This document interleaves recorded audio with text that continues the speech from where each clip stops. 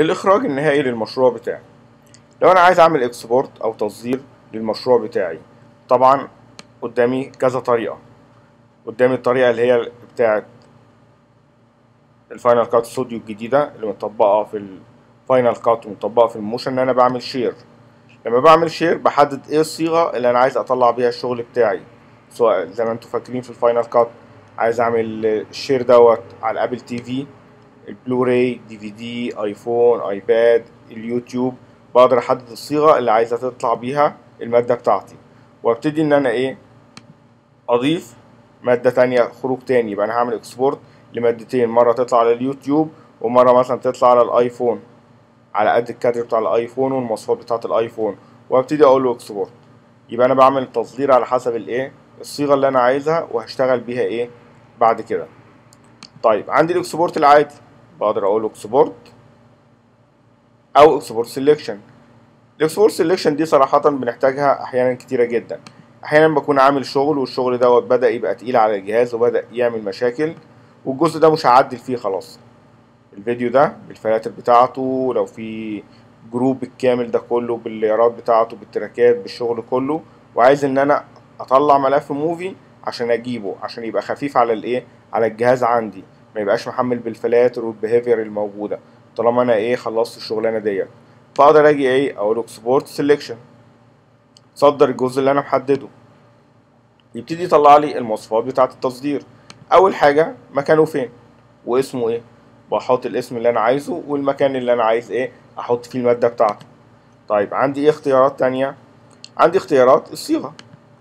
عايزه QuickTime يبقى ملف movie ولا image sequence image sequence لو أنا شغال PAL يبقى يطلع لي 25 صورة ثابتة في الثانية. كل ثانية عندي في ال في ال project بتاعي هطلعه إيه؟ 25 إيه؟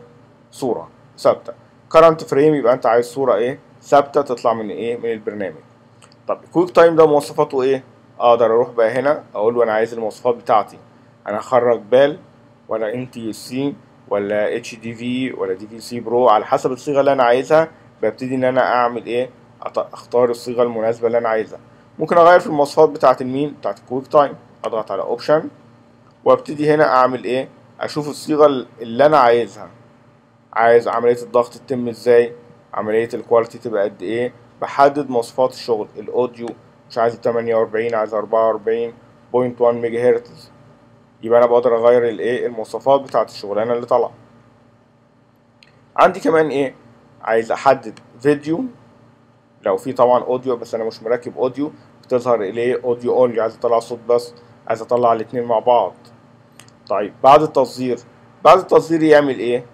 إحنا اتفقنا. ممكن أرجع الشغلانة للمشروع فبقول له add to media ضيفها على مين؟ الميديا. اللي هي فين؟ بالظبط اللي هي هنا. موجودة في الايه في ال project pane بعد ال layer في ال media. ال media بحط فيها الحاجات بس إيه ممكن تكون استخدمت أو لسه ما استخدمتش في البرنامج. ممكن أقول له اعمل إيه؟ add to media غيرها أقول له import into project. يعمل لها جلب للمشروع اوتوماتيك على طول. ممكن أقول له open in viewer window واعمل لي عرض ليها عشان أبقى شايف الشغل. أو ما تعملش حاجة خالص أنا عايز أصدر فقط لا غير. يبقى ديت عملية الايه ال export عندي في البرنامج. ممكن use play range لو أنا عامل نقطة in ونقطة out يبقى إيه؟ يصدر من ال in لل out بس. أو يصدر ال project كله حتى لو عامل in و out غير إيه في البداية أو النهاية بتاعتي.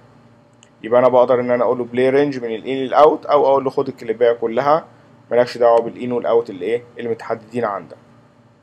دي طريقة تصدير الايه البرنامج عندي يا إما export العادي يا export selection الجزء المتحدد يا share زي ما إحنا كنا بنتعامل في ال Final Cut إيه